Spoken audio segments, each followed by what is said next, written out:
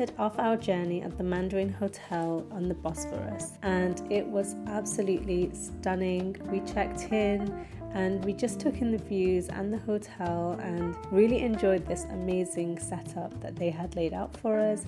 There were so many beautiful snacks laid out for us, and I definitely had to cut into this cake first, and the views were absolutely stunning. We then got ourselves together and went to visit Topkapi Palace.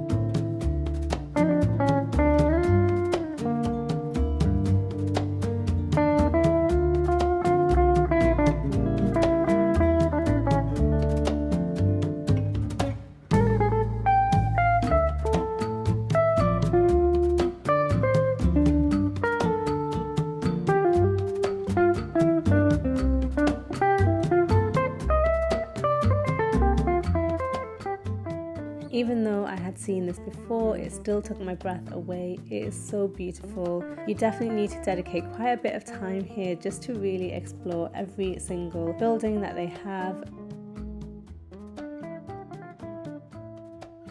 and just outside is the Blue Mosque, so we of course had to go and visit. And you can see so much when you're on foot in Istanbul. We then took a nice long walk up to the Suleymaniye Mosque, and the view from up here is incredible.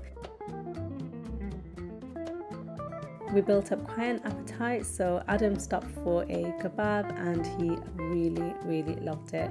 He went back a few times.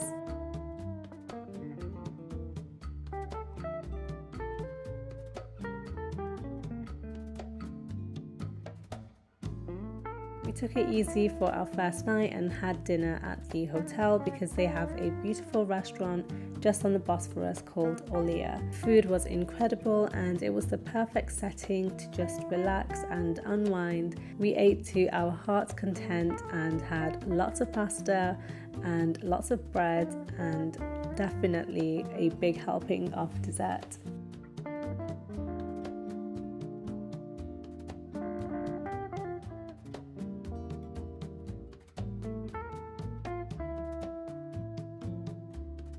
Hi guys, it's day two in Istanbul and we're just about to head out. I thought I will show you my outfit.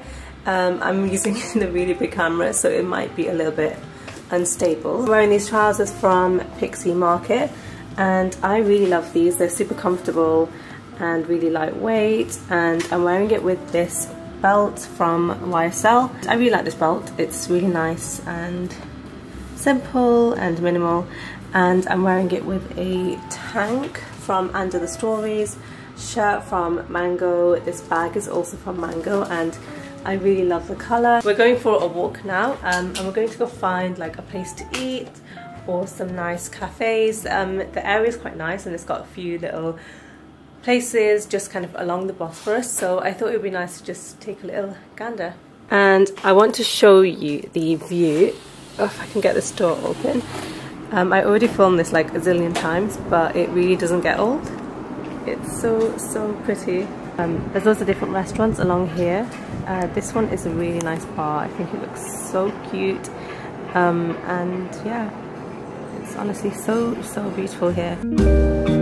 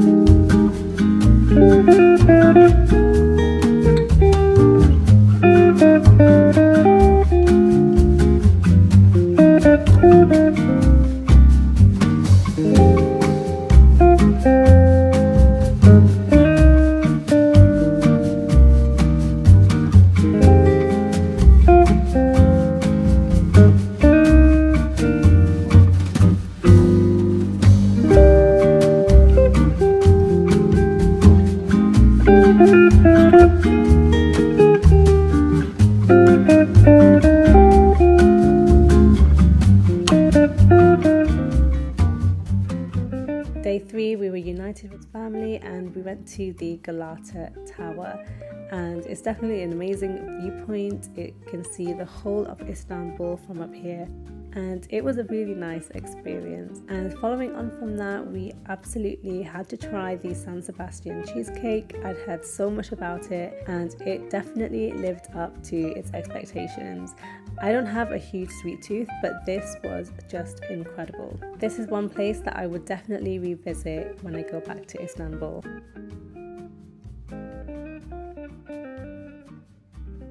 That same evening, we thought it would be a really nice experience if we took a cruise on the Bosphorus. It was just a really beautiful evening. We saw the sunset and you could see so much. You could see so many palaces. We saw a couple of weddings on our cruise and it looked absolutely amazing. We definitely had a bit of FOMO.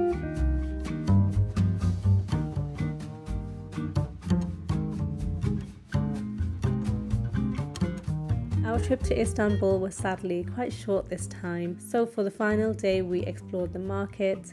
I had to go back for this coffee that I picked up on my first trip. I knew Adam would absolutely love this coffee, and we have been making it over here, and it is so good. I would definitely recommend this if you love coffee. We spent the day just walking around here, so I didn't film too much but we had a really lovely final day. We had another kebab, of course. I feel like we just wanted to eat our body's weight in kebab on this trip, but it was definitely worth it. We left very early the next morning, so we just kind of took it easy in the evening. I hope you guys enjoyed this more travel focused content and let me know what you think and I'll see you in my next video.